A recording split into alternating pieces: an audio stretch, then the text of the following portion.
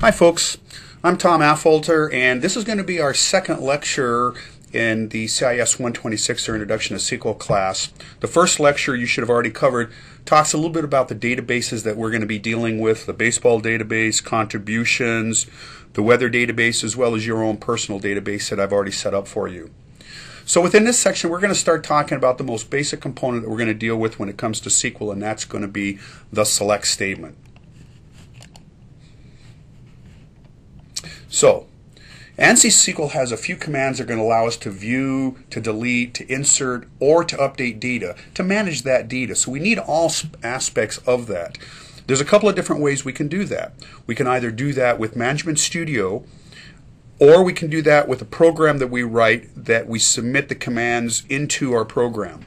The focus of this class is going to be the raw SQL statements. In later classes, you're going to talk about how you would implement that SQL into an existing program. Now, as far as development goes, my perspective of this is that you are developers using SQL. So I'm going to come from the perspective of making you the best SQL users. At the same time, it's going to be hard not to introduce to you a little bit of the management side of it. So, eh, and occasionally I might get a little bit ahead of my, my slides here, so bear with me just a little bit.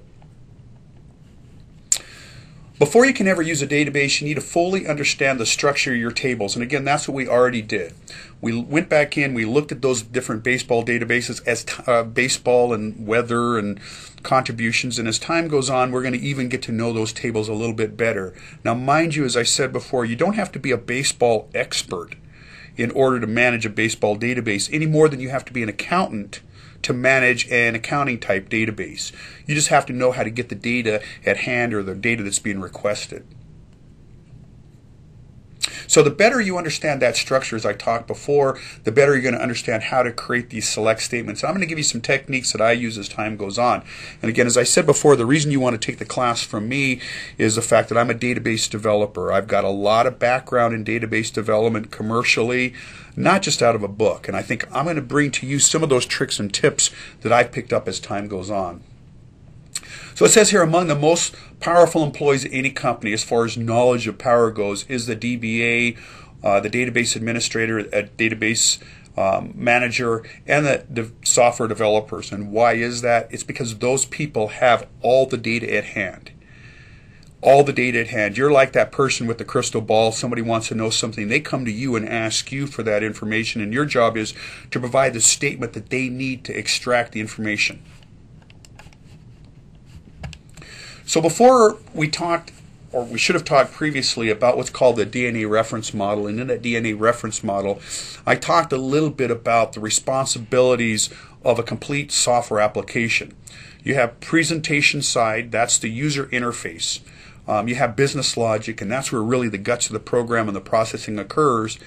And in the vast majority of programs, you have a data tier. And that data tier is where the data is being managed. Not all programs have a data tier, but any program that you're going to deal with today, all the way up from, you know, from Google, which is database driven, all the way to Amazon, to eBay, any e commerce website, um, or any lookup type website, informational website, a blog, they all have some kind of data component behind them. Now, by definition, each one of those data tiers should be independent of one another. So, for example, uh, let's take a website. Uh, the presentation side of a website would be the HTML that's being written, maybe some of the JavaScript being written that the user interacts with, the form itself. But when you hit that submit button, that information on the form is passed to the next layer, which is the business logic layer. Now, in a good development environment, those layers are independent of itself, which means that in the old days, if I wrote a COBOL program and one of the aspects of COBOL sucked, I was stuck with COBOL, the good and the bad. But nowadays, as a new technology comes out, I can replace those existing technologies with a newer, better technology. In this case, um, I might have written a website in um, old HTML and have been dealing with eight, with ASP 3.0, which is an old Microsoft technology. Does that mean then when the .NET technology came out, I had to scrap everything? No. What I ended up doing is replacing that middle tier and I still can continue to communicate with the same HTML as I did before, the same JavaScript, and perhaps even the same database. But that's what makes this replaceable. Or looking at the right example here where the data tier is. That data tier doesn't matter. I, could write a program using Visual Studio today and either use SQL Server or use Oracle or use MySQL or maybe even use that little local database that's built in.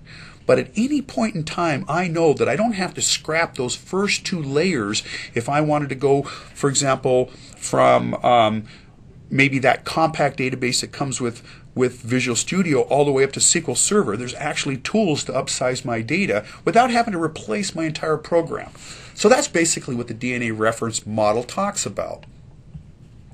The business layer, again, as we're talking about here, it doesn't care that the presentation side was HTML. All it knows is something just passed data to it and it's going to do its job. And it's either going to pass the data back or it's going to go back out and request data from the database. Doesn't care what the database is. Again, that's that object oriented modeling that we're dealing with. So here's an example on this slide of a website type technology using the technology that I would most use. So although XHTML is outdated now, good example of this technology here, because the slide is outdated, is that I could go back in now, change that XHTML to HTML5, modify that left tier without having any interaction perhaps with the ASP.NET, although I must say that there are some things now that HTML5 has added that might I might choose to use with that center business layer, but we'll talk about that later. For now, let's take a look at that communication that happens between that business tier, that middle tier, and the right tier, the SQL Server tier. And you'll notice inside there that we have this little arrow, this black ADO.NET error, uh, excuse me, arrow that points down. What that indicates is that when ASP.NET talks to SQL Server, it doesn't know it's talking to SQL Server, but there's going to be a little piece of software inside there that's going to be managed for us by Visual Studio that tells it when you submit a, a command from your ASP.NET, here's how you talk to SQL Server. And that's an ADO.NET tool that we'll talk about later. And by the way, that SQL Server that we see on the right side is re referred to as our data source or our data provider. Who is providing the data to our application? In this case, it's going to be, at least on this slide, SQL Server. So when we configure an application, we create later what's called a connection string. And that connection string says, here's the type of server you're going to be talking to. Here is your login. Here's your password. Here is basically how this server expects to get its data. And that little ADO.NET black component that we see right here, this feature, is what does the translation on our behalf. And the great thing about that is, is all we have to do is point to those tools and it does it for us. If I was going to change, for example, from SQL Server and wanted to go to Oracle, all I would have to do is modify that connection right here, that ADO.NET connection that exists and tell it, now you're going to talk to Oracle and I don't have to change very much within my application. So it says again, when ASP.NET receives data, it, it, it always is in a table format. So we're going to find out that anytime data is going to be transmitted back and forth, um, as far as we are concerned, it's going to be always in a table format. That table could have multiple rows and columns, or it could be a single column. Uh, a single cell that's returned back. But either way, it's always going to be shaped in a rectangle or in a, in a table, and it doesn't matter where that data is coming from.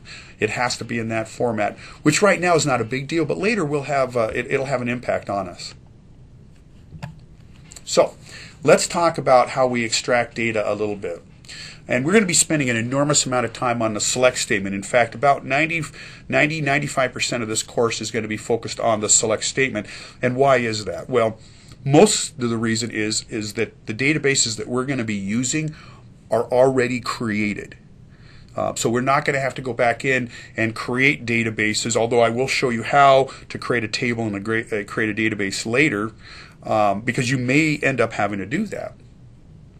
You will have to go back in and do inserts, um, excuse me, updates and deletes and inserts of data, I should say. And we'll learn those commands a little bit later. But in the Microsoft world, if you know what the select statement is, Visual Studio later will find out will actually generate the insert updates uh, and deletes for us. But we're not going to go there right now. Let's take a look at the basic select statement. The select statement by itself is basically a statement that just says, give me the output of. So if I said select 6 as you see here, that says give me the output of 6. That's all it's going to do is give me the output of 6. Down below it says give me the output of 5 times 4. I've got Visual, uh, excuse me, I've got SQL Server Management Studio open. Let's jump over there and take a look at it. Got a lot of stuff open here.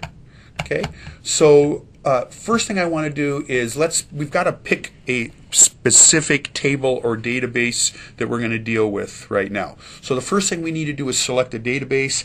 This is going to be an important uh, process for you to go through and understand. There's several different ways that we can select the database uh, that we want to work with. The first way we can do it is to go ahead and with databases here, open up all the databases, find the one that we want. So in this particular case, if I wanted baseball, I could select baseball and then click on new query. So the work that we're going to do is going to be over here on the right hand side. So I could select new query and it will open me up a new query and it selects my baseball 2015. That's one way to do it. I'm going to close that out. Okay, another way to do it would be to open up a new query and that new query then, it just happened to select the one I was at before.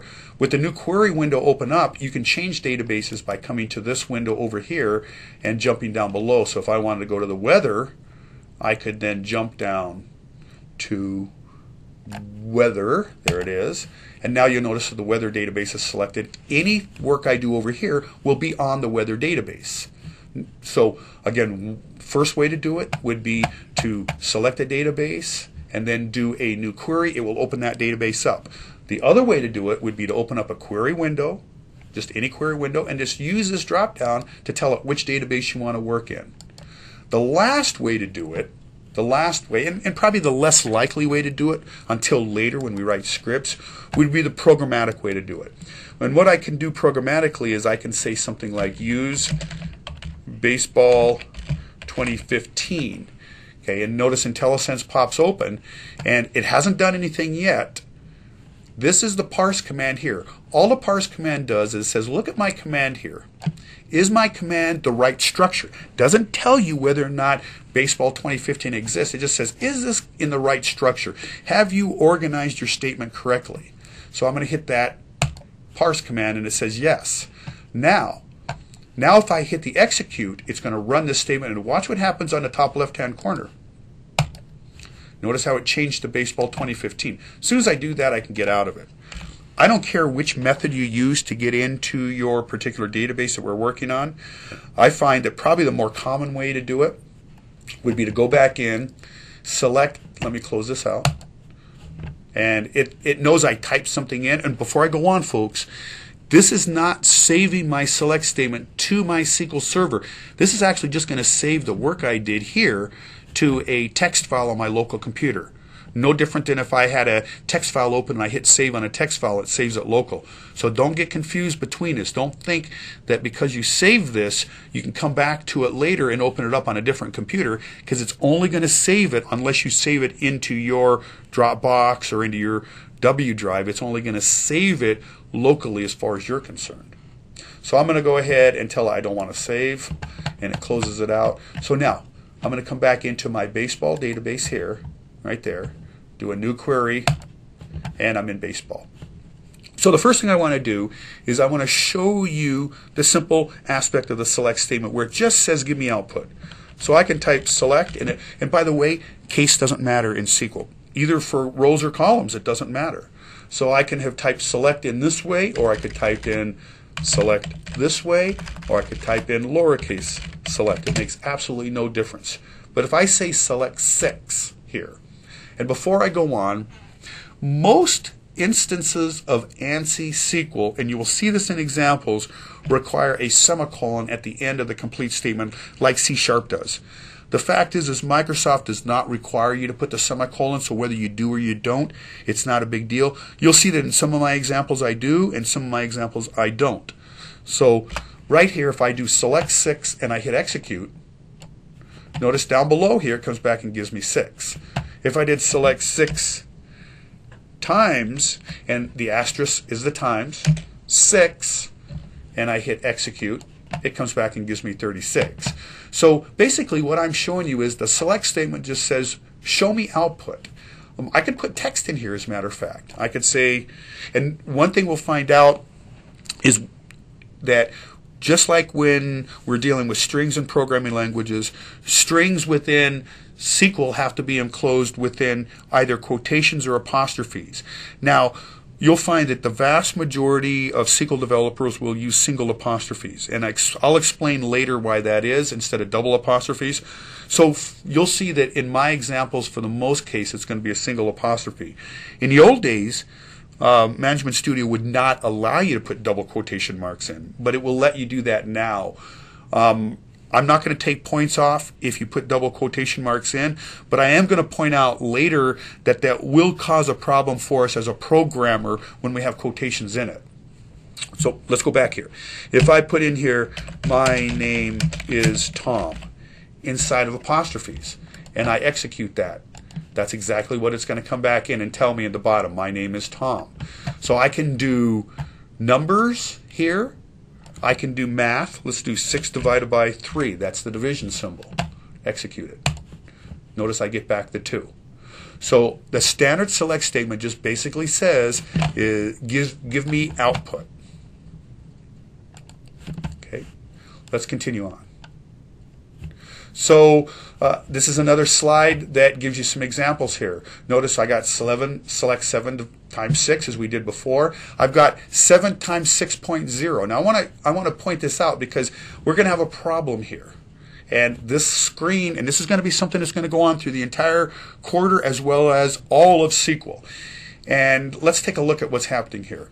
When I do 7 times 6, I get a 42. When I do 7 times 6.0, I get a 42.0.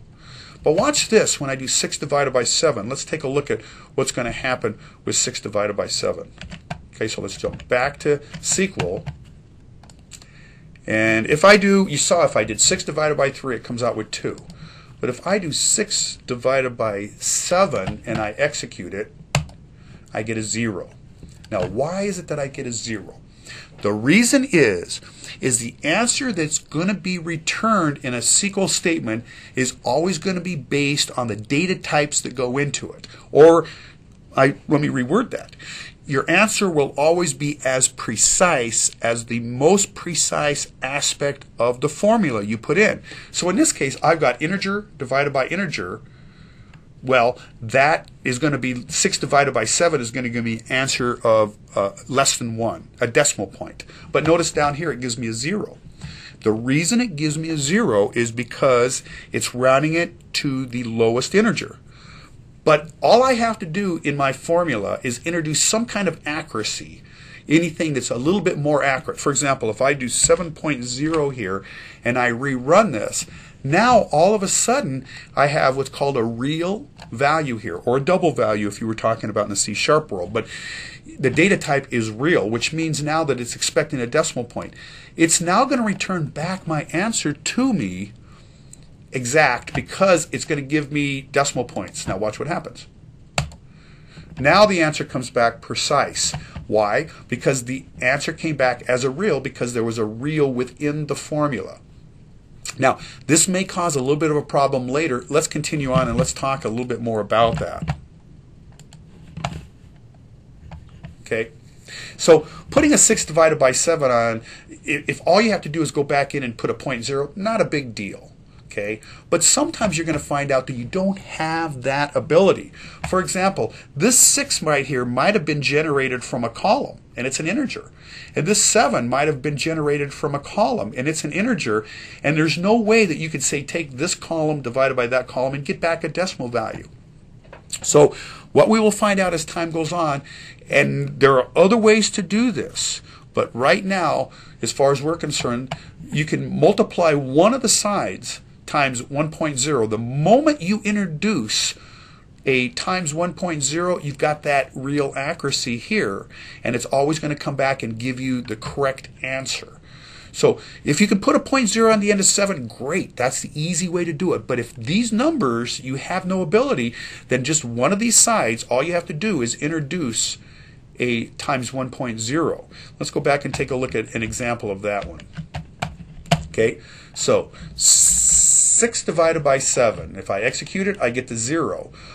But as in algebra, and I know we hate algebra folks, but as in algebra, anything that's done in parentheses is done first. So this is what I'm going to do here. I'm going to say take that 7 and multiply it times 1.0.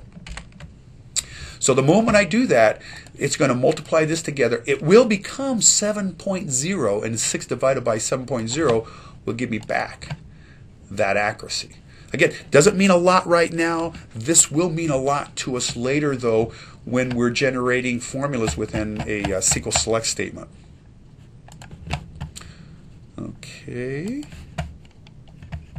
Now, let's talk a little bit about column headers because you'll notice that when I ran these two select statements just a moment ago, let's look at them, I ended up with no column header. It says no column name up here it's not a big deal if we're just looking for SQL output, but the fact is, is most of the reasons that we're developing these applications is for a programmer to use on the other end.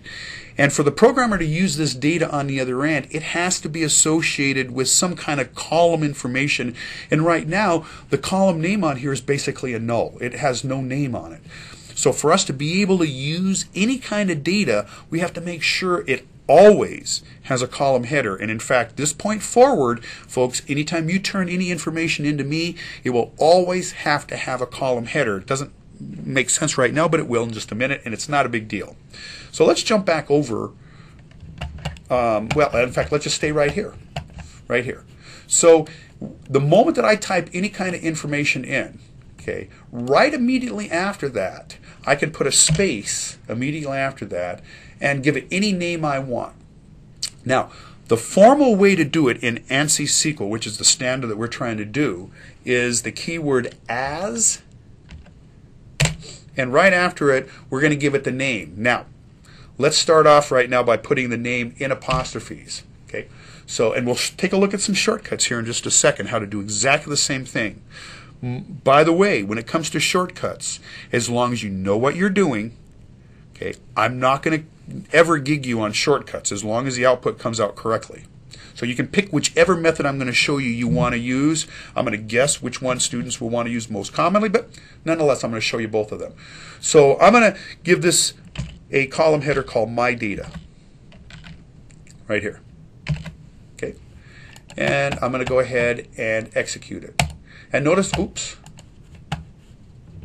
I put it, look what I made a mistake here. I put a double quote in the end of it. Let's go back and put my apostrophe back in and let's execute it. Now notice what happened. It came back in and gave me the answer, but the as my data at that end of that column became the column header. Now by the way, this is a rectangle of data, right? Even though uh, uh, uh, it's got a row and it's got a column in it. So even though it's a single row and a single piece of data, it's still a rectangle. No different than um, bringing all the data back as we did before was a rectangle there's always going to be an equal number of cells in every row. So let's go back and take a look at this. I may have to jump ahead a little bit on some of my slides, but that's okay. Now, this uh, these apostrophes right here are not required except under a couple of situations here. Okay, um, I could put a space inside my data right here, and if I execute it, you'll see that there's a space that comes in my column header.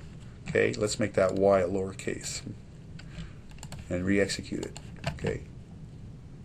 So notice now I've got MySpace data. We as developers are not going to want to do it this way. Why is that? Because later we're going to go back and grab this data out and there's going to be a space in it. Can we include spaces in column names? Yes, we can. But from the programmer standpoint on the other end, you probably don't want to do it that way. Um, you probably want to go back in and use camel type case for your col column headers, something like that. See how we've got it back again. But these apostrophes right here are going to be optional, okay, under a couple of conditions. Watch this. If I get rid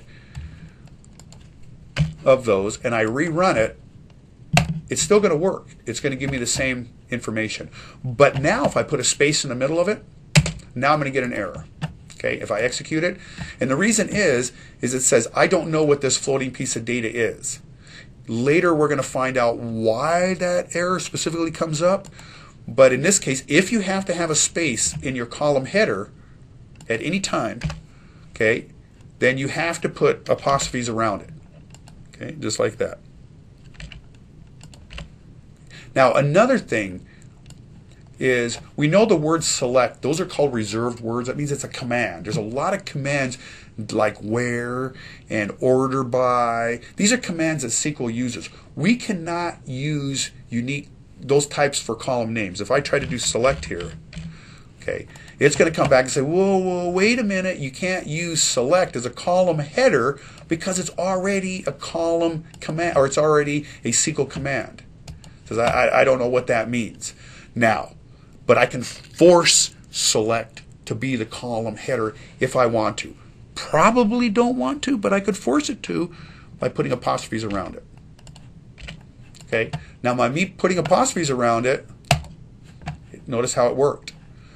Probably not the best choice of a column header you want, but it is possible. So if you want to override that um, to be using a reserved word for a column header, or you want a space in it, you have to put apostrophes around it. Now, let's step back another step. Microsoft SQL or their version of ANSI SQL, and, and as well most versions of ANSI SQL, will also let you forego the as portion of it right here. So if I came back here, and let me get rid of select, that makes me nervous here. Let's call it my data. Okay, so if I run this, now notice now that without the keyword as, it let it be in there. And in fact, if this is not a reserved word, and I execute it, I don't even have to put apostrophes around it. So there is my column header. Now I could add in, by the way, another column if I wanted to. Let's say I want to put in just a number 7 here. Okay, and I'm going to call it your data. Now notice what's happened here. Okay, I'm let's execute it first. Notice how I get your data here. I'm separating my columns now, multiple columns, with the comma. Commas are going to be used to separate columns out. So the data that's going to go into this is this and this. The column header will be this way and this. Now if I want to write it out the long way, the more formal way I could put as and apostrophes around it.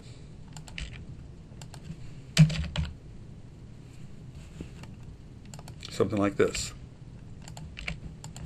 Okay, so that's the long way. You're going to see me go through these examples, folks, over and over and over again. So just bear with me here. Okay? Let's jump out of this and let's jump back to the slides. And I know that I got ahead of myself just a little bit, so let's go back through here. Here's some examples as far as the long method. Okay, as answer. This is the formal way. And before I go on, I do want to point one problem out. Normally, uh, you're going to have access to my PowerPoint slides.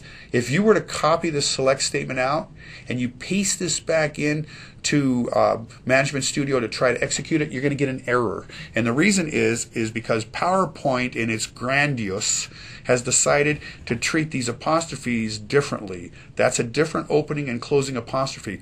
So if you're going to copy these statements out, you're going to have to go back in and convert these apostrophes out. Let me give you a for instance here. Um, I'm just going to go back to this slide. You can't see it, but I'm copying it. Let's go back over now to SQL, and I'm going to paste that statement in that I just copied, the one that we just looked at. And notice what's happened here. If I execute it, it's going to give me an error at the apostrophe. So all I got to do is either remove those, or if I want to use a long method, just go back in and put my own apostrophes back in and rerun it, and voila, it works. Jump back over to those slides again. So this slide, again, just goes and shows you the column header options that you have within here, how you can choose to do it. Um, notice that I can have complete statements in here with spaces inside of it. As a developer, it's probably not likely that you're going to want to do that, but it's available. Also, ANSI SQL will allow you to use square brackets, if you choose to, in lieu of apostrophes. In lieu of apostrophes.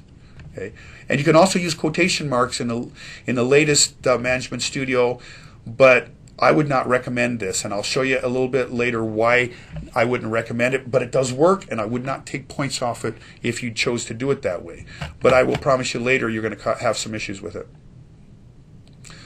Okay. Oh, well, I guess if I'm going to show you the reason, here's the best reason right now. Later, when you're writing a program, so this would be an example perhaps of what you might see in the C sharp world, you're going to pass a select statement into a variable as a string. Okay. Now, if I'm going to pass it in as a string in the C sharp world, I put quotation marks around the outside of that statement. But what if I had originally put quotation marks on the inside, right, instead of the apostrophes as you see here? Well, what would have happened is it would see the opening quotation mark here, the closing quotation mark here, and said, what the heck is all the rest of this? Pardon me. Now, there are ways that you can go back in there and you could put um, control characters in to allow it. But the best way, folks, is simply get in the habit of using single apostrophes so that this is allowed to happen. Okay, so now let's go back in. We've taken a look at the basic aspect of the select. We, we can see that the select is strictly there to put output, but this select statement does so, so much more. So let's go back in and take a look at it in its most basic format. The basic format of the select statement says select, and then you give it a list of columns from your table that you want to list, the from statement, and the name of the table that you want to get back. So you, you give it a column list, name of all the columns that you want, and then you tell it from which table. Now, the most basic form of this is select star from table, as you see in the middle example here. What that says is, give me all the columns, that's referred to as a wildcard, folks. Give me all the columns in the order of which they exist or originally were created in the design from and the name of the table that you want to pull from. Okay? Now, Let's go back and take a look at that one. And then we'll come back and look at this slide again. So let's go back over the select statement. Um, I'm going to open up baseball and open up my tables, and these are all my tables that exist. So what I would like to get is all the data, and there's a lot of it by the way, folks. I want all the data from players because that's basically the heart of the table. So I would type select all columns, and it's going to give me the columns in what order? Let's open up players. They're going to be in this exact order right here. Okay, all columns from, and the name of the table is players. Okay, now, as long as I've got the right database selected, or yeah, the right database selected in this top left-hand corner, I can reach up here and tell it to parse it, and it's going to tell me, is the format in the correct uh, is correct based on the select. It doesn't guarantee me that players table exists. It just says, yep, that looks like a good select statement to me. Now I'm going to execute it. And what it did is it went out to my server, okay, at the SCC SQL Server website, grabbed all of that data, and it actually moved it back to me, and it did it behind the scenes with XML, which doesn't really matter to me, but it brought it back behind the scenes to my local computer. And right now, in memory or cached in this computer, is all of this data. And there's a there's 18,846 rows. If you look at this bottom right hand corner, you'll see it. So it brought all the data back in this order, as you see right here. That's the most basic select statement right there.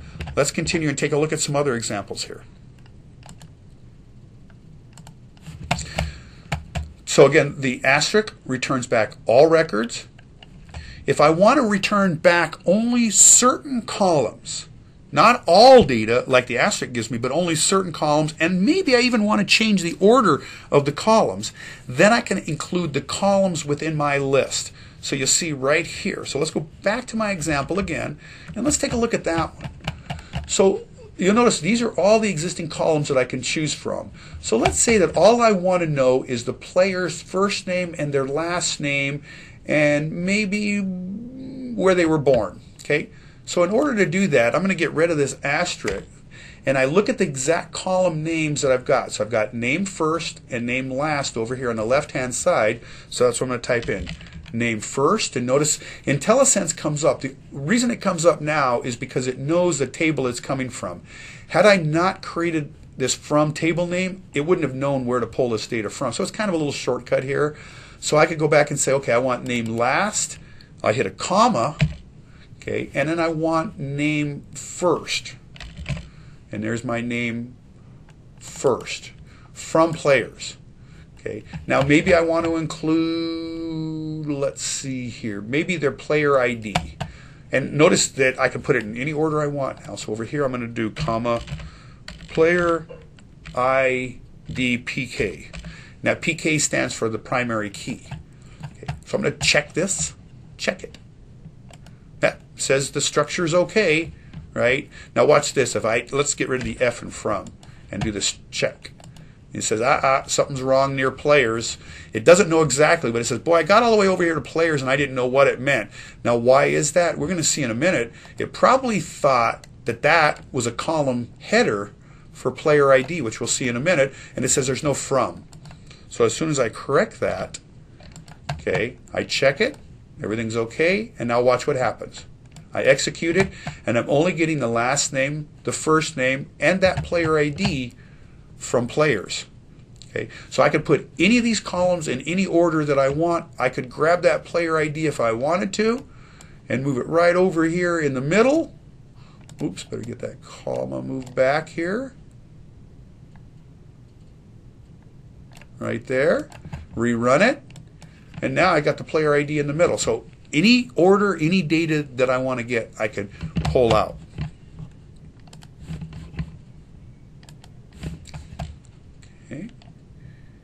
So now let's talk about the column headers. Let's put it a little bit more in perspective now than what we had before. Before we were just dealing with numbers and it did the math for us, but it doesn't pull that data out of a column per se. So let's go back over and change some of these column headers. Okay, so I've got this player ID PK. Um, maybe I don't want to call it player ID PK. Maybe I want to just call it player ID. So the long way to do this, as I showed you a minute ago, would be as, and then I could type in, maybe I want to come out with a capital P, player, player ID, okay, and there we go. So I check this, okay, I execute it, boom, and notice now what happened is player ID. Now before I go on, I want to go back to that DNA reference model where the database and the business logic don't know what's happening. All it knows, the business logic says, I make a request for data and the data is passed back to me. It's all I did is request the data. Here's the thing, folks. When a program requests data, it has no idea of the underlying database that it came from or the underlying table. All it knows is the program requested data to come back. This is the data that came back. It has no clue where this data came from. It has no clue as far, I mean, the select statement that you put into it obviously does, but the program itself just knows it just received data back.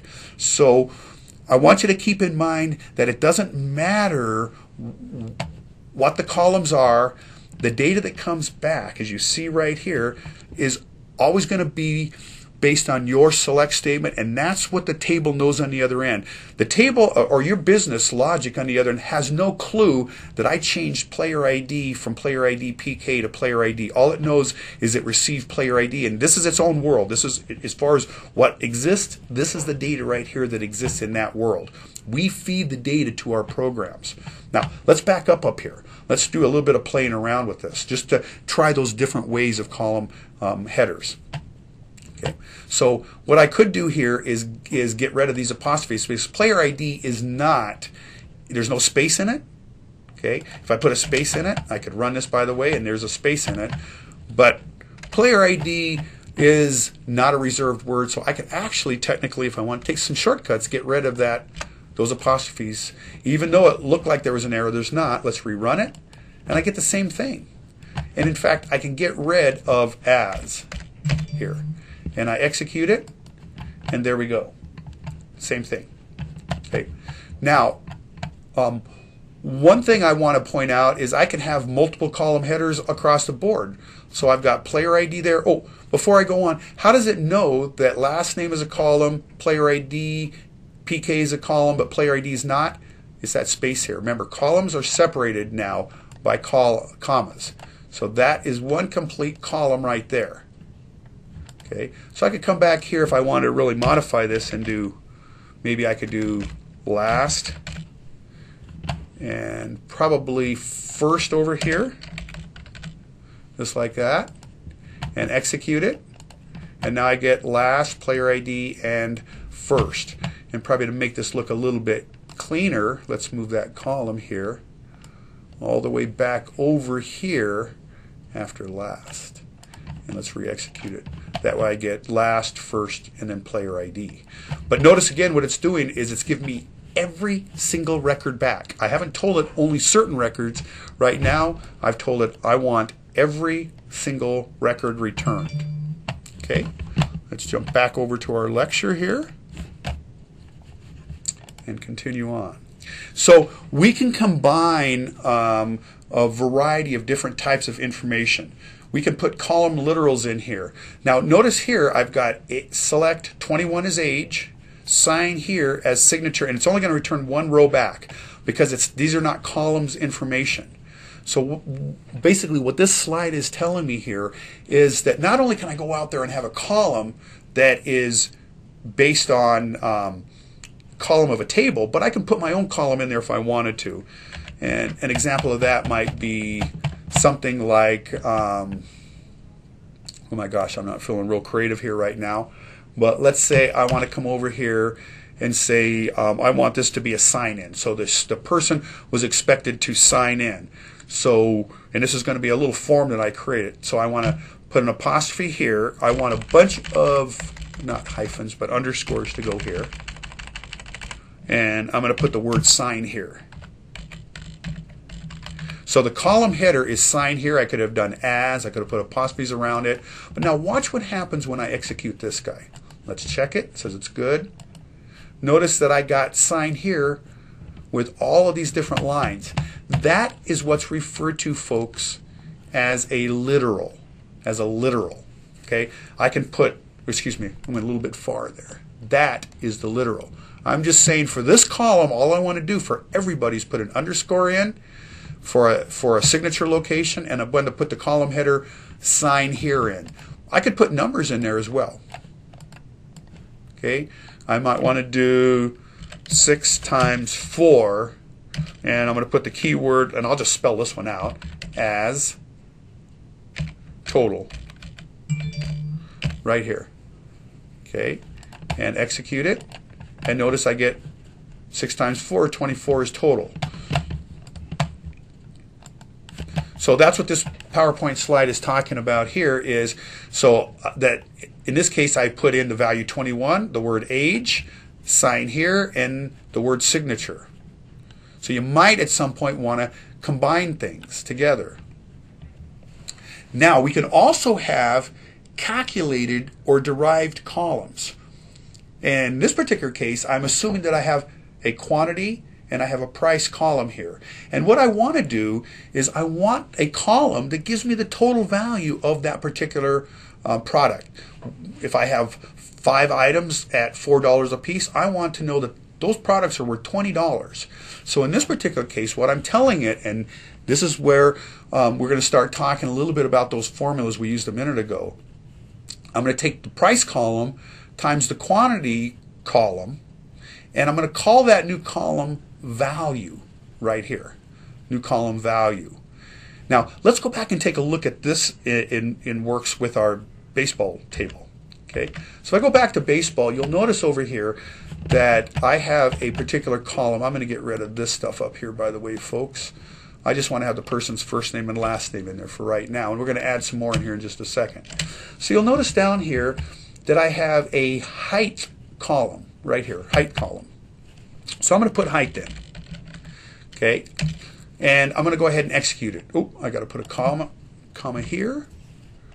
Okay. I'm going to execute it. So I want to have the last name show up. I'm going to call it last. I want the first name column to show up. I want to call it first. And then I want to have the height column. I'm just going to default it at its default height and execute it. Now, notice that the height comes back in in inches. What I'd really like is I'd like to know how tall this person is in feet as a decimal. Now, in order to calculate turn inches into feet, I can divide height by 12. Okay? So the moment I divide height by 12, let's run this and see what happens. Notice now that inside of here, um, I'm getting just the whole integer. And I've got no column header either. So I've got a couple of issues here. The first thing is, is that height, if you go back over and look at height, height was set up as an integer. Small integer, but an integer nonetheless. So I've got integer divided by integer, which is telling me now that my entire answer has to come back as an integer. No decimal places whatsoever. But it did that. It gave me back how tall they are. And there's going to be some people in here that are five feet, like Bert Abbey. And then the rest of these people are six feet or larger. But it's not going to give me the exact size of it. So in order to get the exact size, I need to introduce a decimal to this. But before I go on, I got another issue. And that is, how come I've got no column header? I've got a column in there, height, but I have no column header. Over here, if I don't put a column header in these guys, let's back up and I run it, at least I get the default column name as my column header here. There's no column. But notice over here I get nothing. Why? Well, it's because this is a derived column. There's a formula in here and it doesn't know what to call it. So anytime, folks, you have a derived column or a formula that's put in here, you will always have to give it a column header. And what's interesting is you can give it any column header. I could call it, if I wanted to, I could call it height one more time. It doesn't care right? Ex execute this. There's now I get height back. Okay, I could use the shortcut because height is not a reserved word. So I could do this, and this is going to work. I get height back, but the challenge is I still get 6 back, and I need to have that decimal. So remember earlier I told you that when we were dealing with numbers, as long as I introduce a decimal somewhere in that formula, the answer is going to come back as a decimal. And that's exactly what I'm going to do here. I'm going to come back over to this formula here, this 12 right here, and I could easily just simply go 12.0. By me introducing that point zero now, the most precise part of this formula is a real data type, which is point zero has a decimal.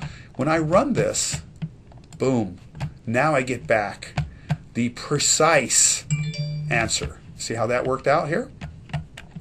Okay, so all I had to do is introduce that point zero. Now, every once in a while, though, folks, I won't be able to do that. Every once in a while, that 12 might have come back. Let's say that, and by the way, I don't only have to introduce it to one side here, over here. What I can't do is I can't go, let's say I want to introduce it to height. What I can't do to height is go back and say height times 0.0. That, that makes no sense. So in order to do it this way, okay, what I'm going to tell it to do the alternate way is to take height and multiply height times 1.0. Now, the rules of math say any number multiplied by 1 is the same number, but by me doing this, I'm converting this height, which was now um, in inches, it, let's say it was 75 inches, I'm now making it 75.0, which now when I run this, I now get back the accuracy here. Now, I will tell you that if you're doing a formula like this, it's going to obviously, obviously, it's going to be easier to not introduce it at the height side of it, but to introduce it to the number side. Okay, so if you have that ability, it's much easier just to come over here to that 12 and make it 12.0. But there will be those instances, folks, and we'll see some examples pretty soon where you don't have that opportunity at all. Okay. So let's go ahead and continue back. Hopefully that part makes sense. And of course, I'm expecting you to pause these lectures as I go along because I know I talk fast. Um, and try these out. Everything that I'm doing right now, you can do, folks. You can go back in here. You can select the Baseball 2015 table. Everything that I've typed in, you have the ability to type in. The only thing you can't do is change my data, but you can pull, extract all this data out if you want to. Okay. Um, also, I should mention too that later when I I told you that when I put a select statement in, Visual Studio will come back and build an insert, update, and a delete statement for me if if it can. In this particular case, if I put the statement in, it could update part number and description, but it can never update a calculated column. It wouldn't know how to do that. So calculated columns cannot be updated. They're ignored, and that will make more sense again later. Um, now, a calculated column doesn't have to be just numbers. We can use calculated columns to do text as well. In this particular example, notice what I'm doing is I'm going to combine, I've got the last name, the first name, and what I want to do is produce a column that is made up of the last name with the comma, space, and the first name. Maybe a proper name column. Perhaps my users are wanting to create some kind of report that generates that type of output. How might I do it? Well, this slide is a perfect example of it, although this is working in a different table. Let's go back and take a look at how I might use that baseball data, the same one we've been looking at. Okay, so I've got this last name and first name. For right now, let's get rid of this height. Let's keep it simple here. And what I want to do is when I run this guy, I'd like to create a brand new column, and in this case, I want it to become Aardsma, comma, space, David. And I want to call that column my full name column. Okay? So that's exactly what I'm going to do here. I'm going to say, okay, take the name last. Okay. I want to add to it, so we can use the plus to add. I want to add in, pardon me, a right after the last name. Immediately, I want to put a comma. I want to put a space, and I'm going to put an apostrophe. So I want the last name and then I want this information right here added after the last name. And then I want to add in the name first. Now, notice that I typed in name first in lowercase. It doesn't care, folks. None of this stuff right here matters at all. Okay. If I use, in fact, here's how it works. It's kind of strange. This is exactly how it's typed in over here, name last. If I change this, by the way, and put a lowercase l here, we'll see in a minute when it prints out, it's going to change that to a lowercase l, but it's still going to pull the correct data. Now, when I run this, this will work, but I will have no column header. Watch this. Look what it did. Aardsma, comma, space David. Down the line here, but no column header. So the same thing holds true. I'm going to have to come up in here, and depending upon what method you want, I'll use the long way here. I might want to call it my full name here and execute it. And there you go. Full name, and I end up now having data that I can pull on the programming side um, with the complete name here. Um, there was something else I wanted to point out here. What was it? As far as pulling data. Remember that when this pro this data is received by your computer program on the other end, it has no clue that there is no full name column that exists. It's just received the data uh, on the other side. Oh, I do recall what I wanted to tell you. Um, with standard ANSI SQL, there is no way of combining uh, numeric data and string data. So here I'm, I'm combining uh, varchar or string data with string data. What it will not let me do is, and there is a way to do it, but you can't do this in standard, is something like, um, let's do this.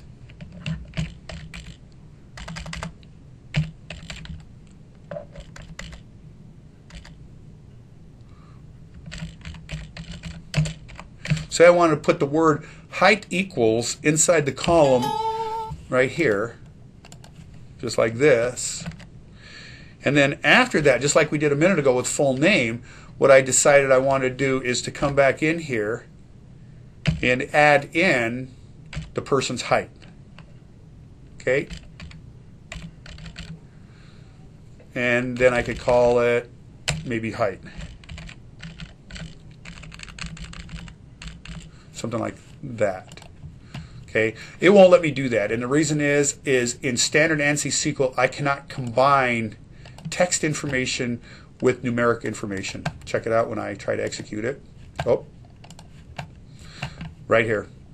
So again, look at this. The parsing said, looks like it's good to me, but it didn't check when it parsed to see that this was numeric right here. It said, well, the structure looks pretty good, That's okay, but when I tried to execute it, they came back and said, nah, sorry, you cannot merge a numeric column with a height column here. Now, there are ways to do it in Transact SQL, but not in ANSI SQL. Transact SQL is the extended SQL that was added with Microsoft SQL, but this class is ANSI SQL. We're trying to teach as generic as possible. Later, I'll introduce you to a little bit of Transact SQL, but for right now, I'm not going to ask you to do anything like this. Let's go ahead and continue on here.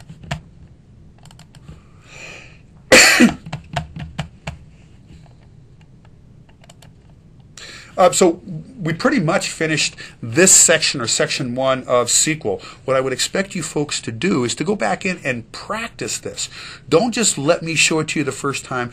Pause the slides. The way that you're going to understand SQL the best way is just to fiddle with it. There's nothing you're going to do in my baseball data to harm my baseball data. That's why I made mine only readable. Later, I'll let you copy the data into your database and you can do whatever you want with it. But for right now, play around with my data, investigate. You can't do an error that's going to damage my data, delete my data, change anything, wipe my SQL server out. So play.